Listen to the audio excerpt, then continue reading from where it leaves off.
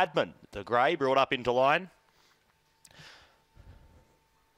Some merit to come out of its uh, Darwin campaign this year. Some pretty interesting runs. 1.7 lengths behind Sky Muster and Nicarossa last start.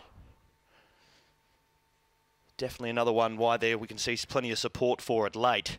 And Mitochondria will be the last one to be brought up into line to complete it for the Adept Technology 1200 metre 0 to 70 handicap here in the Alice. Race two, set and away, and Mitochondria last in, first out. Pushes up nicely alongside Wingard's Mark, the favourite, who's going to go and show the way as they exit the chute and out onto the course proper. Wingard's Mark leads Urban Bourbon by about a length and a half, and there's a line of four. Sitting alongside it was Dancing Poetess, three wide Mitochondria. But wowee, Raymond Vigard doesn't like the speed. He goes right around on Cadman and goes to lead by a length, and Fine Taylor sits three lengths off them and whips them in as they come past the 600. They're working their way off the back and onto the side now. Cadman shows the way by two lengths over Wingard's Mark, who's not giving it any more lengths and any more distance to get out in front.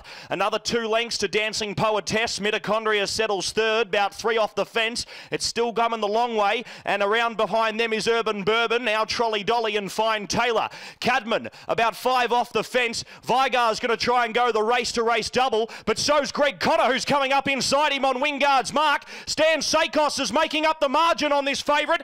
No, he isn't. Cadman kicks away, gets one with the cane and draws clear by five, takes out the second by a good five lengths. There we go. Second was Wingard's Mark. Third, Dancing Poetess uh, and Urban Bourbon there, who probably just creeps out of the minors.